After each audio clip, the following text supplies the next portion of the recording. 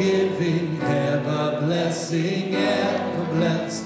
Fountain of the joy of living, ocean depths of happy rest.